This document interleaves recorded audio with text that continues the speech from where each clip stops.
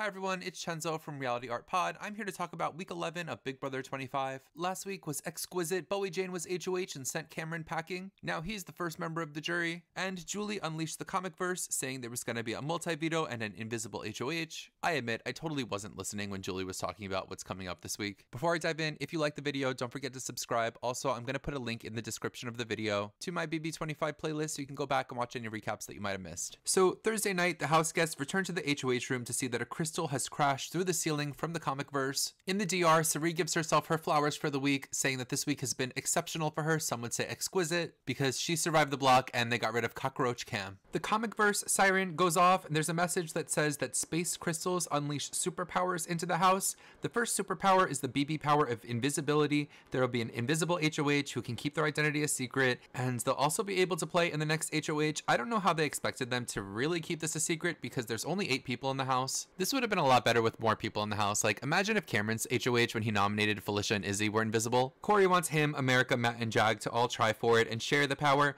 Jag says this might be the week to take the shot at Corey and America. Felicia and Cirie feel like an invisible HOH would be great for them because they aren't big targets. For the HOH competition, they're playing BB Comics. Felicia comes in looking so cute in her costume. They have to do the usual, sorting the comics to find the real ones and not the bootleg ones. It's very, very stupid to make this the invisible HOH competition. Clearly, Cirie and Felicia have zero shot of winning this. It should have been a crapshoot, trivia, or how bad do you want it? Felicia has some really hard falls off the trapeze. She says she's hitting the ground like blam, pow, bam! And every time she shakes and the camera shakes. They show Bowie's comic and she's a boomerang, and this is more two dimensional storytelling like I talked about last time. At this point, Bowie Jane has been in this house for 70 plus days, and the only takeaway you have to send to the comic book illustrator is she's Australian. Felicia's comic is her in the kayak. You had so much material for Felicia. Come on. The spices, the t shirt dress, the Mike Pack Marvel. They fumbled the ball so hard with these comics. The worst offense might be that Cirie's is her in her robe because after all these years, decades with Cirie,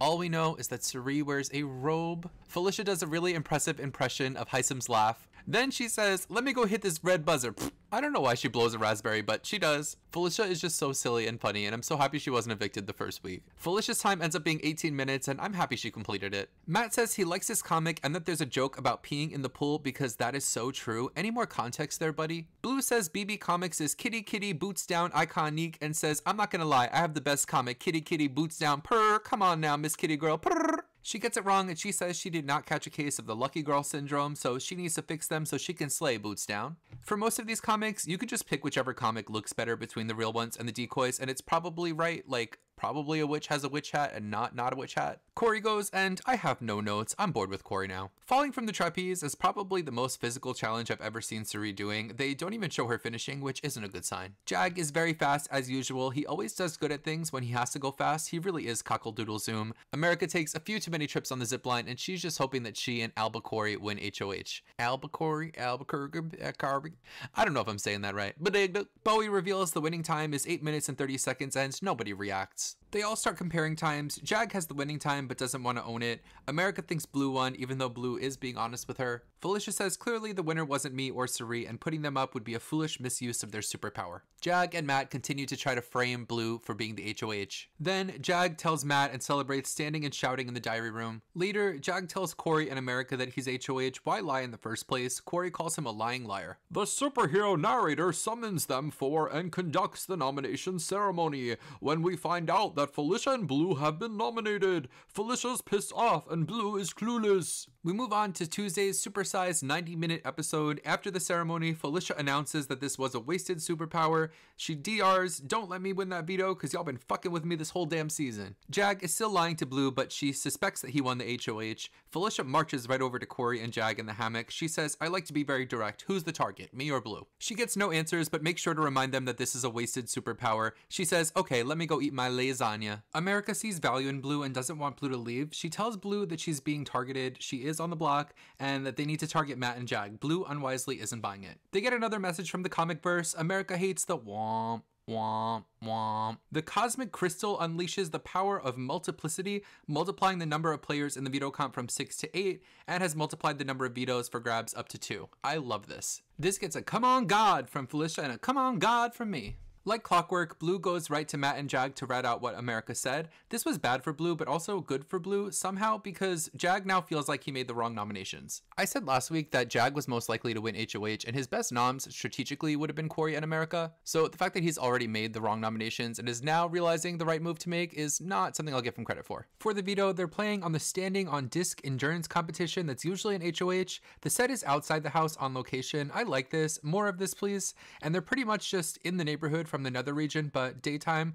Makes no sense, but there's a giant transformer overseeing the action. Where is the nether gorgon? I really miss that guy. Felicia falls first, and I feel like Felicia has clocked in so many hard falls this season. It's gotta be some kind of record. Bowie just wants to help out the t- woo, and she falls. The joke where they fall in the middle of their diary room confessional is so played out at this point. Cirie says she doesn't want to win this veto and have to decide and falls, but be for real, she didn't have a chance on this. Corey falls, Matt wipes out, and then America throws it unwisely. The challenge comes down to Blue and Jag, both trying their best at getting bonked by the Transformer. Jag shouts out cockle-doodle zoom, and Blue shouts kitty kitty purr. After two hours, Blue falls and Jag wins another POV. The next video will be them just guessing how long Jag can hold onto a bar that's flying around in a circle, and the two people with the worst guesses will also have a punishment. The incentive for Jag to hold on is for every 15 seconds he holds on, he gets $500. Jag does his challenge. It's really boring watching him hold onto this handle and just fly around slowly in a circle, but he does a really good job. He hangs on for 110 seconds and makes $3,500, which is so much money for two minutes work. Blue guesses 105 seconds and wins the second veto, and according to her, her first competition of the summer, Girly Pop, it's October.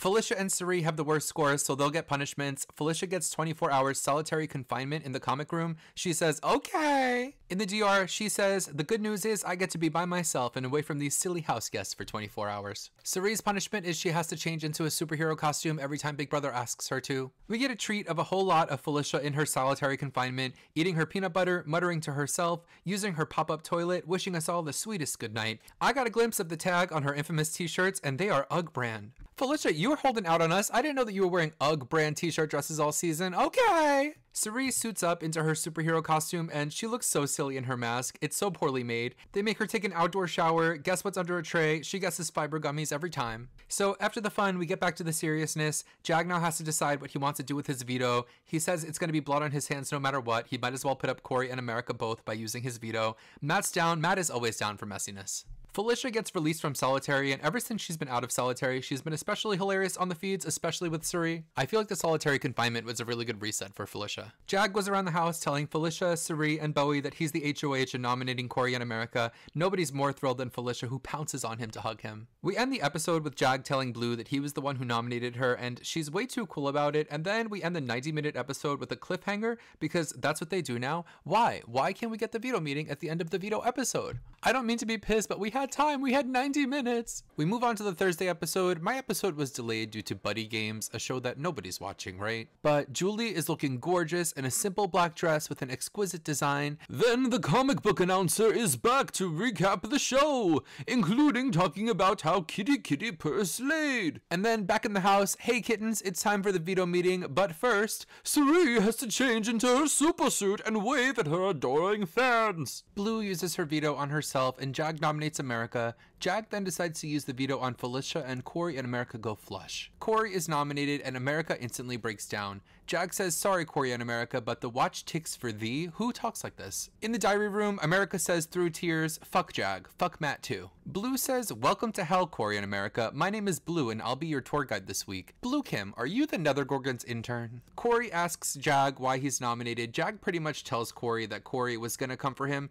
America comes out of nowhere and pops off on Jag. Jag accuses America of having the worst stretch of gameplay all season, and that's so rich coming from Jag, the person who was evicted. Cirie and Felicia relish in the AmeriCory Jat Infinity War starting, and they're planning to profit off of it. America iconically tells Jag to literally fuck off in the bathroom mirror and then cries in bed to Corey, telling him it's her fault that they're on the block. America says she wants to give up her game for Corey and cause chaos in the house. Corey says he can't do that because he's still trying to win the game. America goes to Blue and basically tells Blue that ratting her out to Matt and Jag was stupid. Blue says she may be open to working together still, but Blue says America's campaigning basically sucks. Super Cirie has some more tasks to scare Blue, why? Then she has to stay in the pool for two hours, then she has to do 100 laps of walking. She reflects on losing all her friends. She says to add insult to injury, you put me in in this dumbass costume. The only thing worse for Cirie would probably be to add a balance beam to this. It's really funny seeing Cirie be annoyed with her punishment in the diary room. Corey and Blue meet to talk in her office, aka the chair by the pool. Corey is campaigning way better than America and Blue knows it. This show makes it seem like Blue's vote will be the deciding factor of the week. Corey's campaign is for them to keep him in the game so he can target Matt and Jag.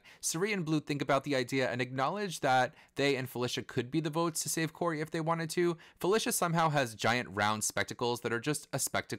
Watching this, I really do feel like it would be smarter for the ladies to keep Corey around. Like, I really do feel like they might need him to beat Matt and Jag in competitions. Corey's speech is kind of weird where he's mocking Cameron, but Cameron's not there and he even uses Cameron's daughter's name. Like, it's so weird. And he calls himself daddy, like, I've heard enough. America is more charismatic and funny. She shouts out the AmeriCory haters, and her speech is by and large just better than Corey's. Corey ends up evicted unanimously. There's no fun and games with the voting this week. America washing machines Corey's face on the way out. Julie puts a before and after of his time in the house, and the after picture is just such an unflattering photo. Julie tells us that next week there will be a real double eviction, so we'll see about that. With that, we have to say goodbye to Corey, and I had Corey ranked fourth in my original rankings. My impression was that he was smart and would outperform his brother, in, and he really did. And he was smart. In the early game, he was one of the better diary room narrators. Cirie being there provided a real roadblock for Corey at every corner of the game. There wasn't a lot of wiggle room for him to operate. For the first half of the game, he operated from the shadows, trying to work with Jared, not knowing that Jared was Cirie's operative.